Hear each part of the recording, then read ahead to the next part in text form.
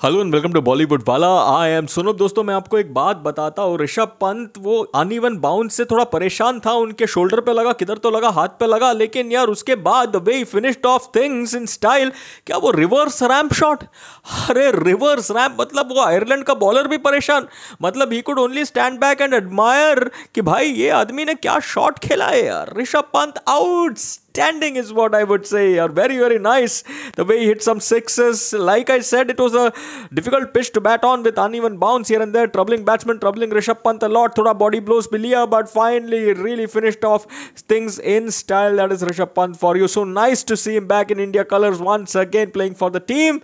And the way he has batted today, that will give him a lot of confidence going into the match against Pakistan, no doubt about it. And up the order, it was Rohit Sharma who started off proceedings in style. Of course, a drop catch was unka, but never mind बहुत अच्छा उन्होंने खेला, बहुत अच्छा पुल shots वगैरह लगाया and थोड़ा return hurt हो गया। I hope is absolutely okay because we need him fit and fine for the next important match rare failure by Virat Kohli but that's okay it's nothing to worry about Surya Kumar Yadav could have stayed there longer but अच्छा है यार, सबको मतलब जो topper batsman है, सबको एक look in मिला। They got feel of the wicket of course all eyes on India and Pakistan that's a very big game but many congratulations to India for the win today they open their account with a nice win against Ireland दोस्तों, आपका take लिख कर बताना ऋषभ पंत के उस shot के बारे में let me know of course like share and subscribe भी करना चैनल को वीडियो को एंड सुपर थैंक्स का ऑप्शन भी है, वो भी आप दे सकते हो. एंड एट बॉलीवुड वाला मेरा इंस्टा आईडी है, वहाँ पर भी आप मुझे फॉलो कर सकते हो. चलिए फॉर द मोमेंट टाटा